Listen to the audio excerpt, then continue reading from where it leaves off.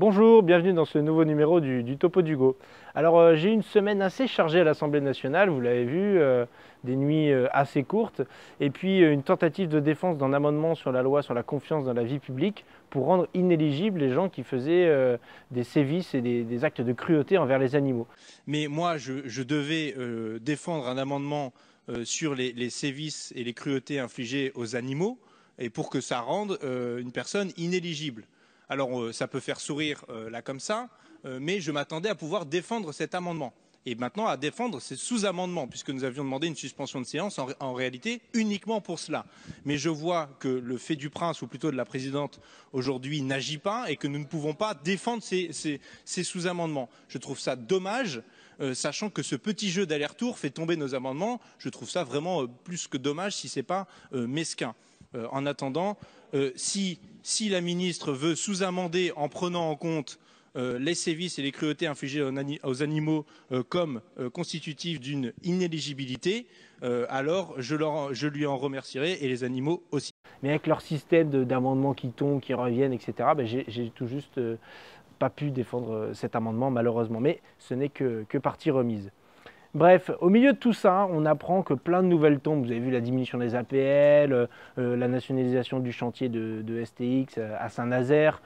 Bon, et puis, au milieu de tout ça, eh ben, on apprend qu'il y a plusieurs millions d'euros qui vont être retirés à l'agriculture bio en France et qui vont être rebasculés sur l'agriculture dite traditionnelle. En fait, cette agriculture, on devrait l'appeler euh, agriculture chimique et l'autre, on devrait l'appeler agriculture euh, tout court. Hein, parce que pourquoi on devrait l'appeler bio Un truc qui est à peu près normal en réalité. Euh, mais en, l'occurrence, il y a 2%, 2 des aides qui sont attribuées au bio, alors que ça représente 5,7% des surfaces. Et c'est sur ces 2% d'aides qui veulent encore diminuer.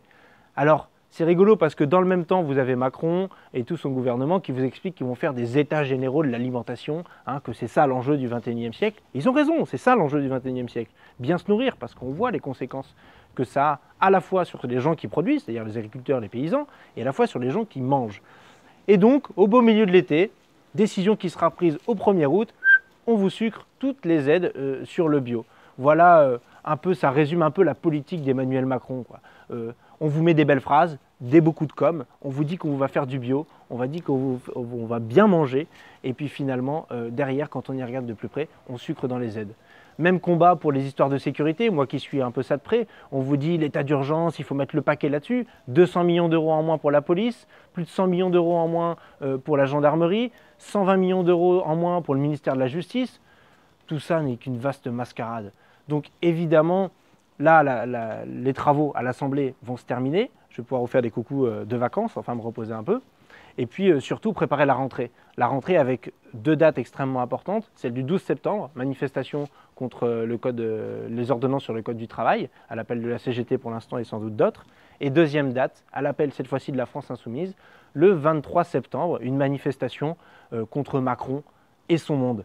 Alors je compte sur vous pour relayer cette vidéo sur Twitter, sur Facebook, sur YouTube.